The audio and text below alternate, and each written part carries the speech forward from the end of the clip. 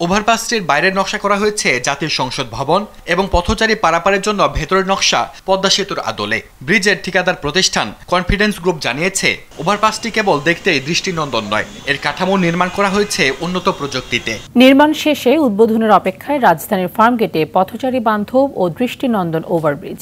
স্থাপনাটি তৈরি করা হয়েছে সংসদ ভবন এবং পদ্মা সেতুর নকশার আদলে। ঠিকাদার প্রতিষ্ঠান কনফিডেন্স গ্রুপ জানিয়েছে শক্তিশালী স্টিলের পাতের ওপর তৈরি ব্রিজটি সেবা দেবে প্রায় একশো বছর। সেলিম মালিক জানাচ্ছেন বিস্তারিত। রাজধানী ঢাকার কর্মচাঞ্চল্য এলাকাগুলোর মধ্যে অন্যতম ফার্মগেট। এখানে মেট্রো রেল ও এলিভেটেড এক্সপ্রেসওয়ে মিলিত হওয়ায় মানুষের চাপ বেড়ে যাওয়ার সম্ভাবনা বেড়েছে। এমন বাস্তবতায় পুরাতন ওভারপাসকে ভেঙে নির্মাণ করা হয়েছে দৃষ্টিনন্দন ও আগের চেয়েও প্রশস্ত নতুন ওভারপাস। তোমার সিজন টু কনকা সবার জন্য আধুনিক প্রযুক্তি।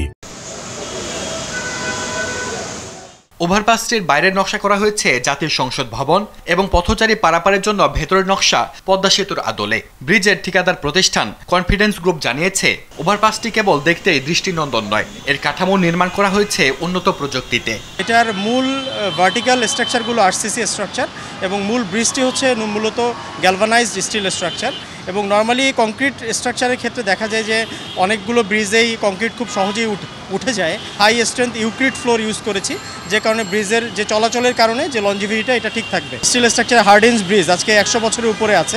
নর্মালি স্টিল স্ট্রাকচারগুলোর কিন্তু লাইফ টাইম এরকমই হয়। ওভারপাসের ঠিক মাঝ বরাবর রয়েছে শেড দুই প্রান্তে তাবু এছাড়া দুই পাশে ছয়টি পকেট করিডোর রাখা হয়েছে যেখানে দাঁড়িয়ে দেখা যাবে পুরো এলাকা। ব্যবহারকারীদের চলাচল স্বাচ্ছন্দ্য করতে হাঁটার জায়গা প্রায় আঠারো ফুট চওড়া। এটার মূল ব্রিজের কাজ বলতে গেলে একদম একশো পার্সেন্টই শেষ হয়েছে। নিচের কিছু বিউটিফিকেশন বা অ্যাস্থেটিক কিছু কাজ আছে সেগুলো নব্বই পার্সেন্টের কাছাকাছি শেষ হয়েছে। সেটা হয়তো আগামী এক মাসের মধ্যে বাকি কাজগুলো সম্পন্ন হবে বাট মূল ব্রিজ জনগণের চলাচলের জন্য এই সপ্তাহের মধ্যেই যে কোনো দিন উদ্বোধন করা হবে। এমন দৃষ্টিনন্দন স্থাপনায় স্বস্তি বোধ করছেন নগরবাসীও তবে পুরাতন ওভারপাসটির মতো এটু হকারের দখলে যায় কিনা তা নিয়েও আছে দুর্ভাবনা। আমরা চাই এই ব্রিজটা হকার মুক্ত থাক। হকার বসলে গ্যাঞ্জাম হইব পাবলিক যাওয়া এসে সমস্যা হইব। অনেক সুন্দর ব্রিজ হয়েছে। বাংলাদেশের ভিতরে এক নম্বর ব্রিজ অনেক সুন্দর।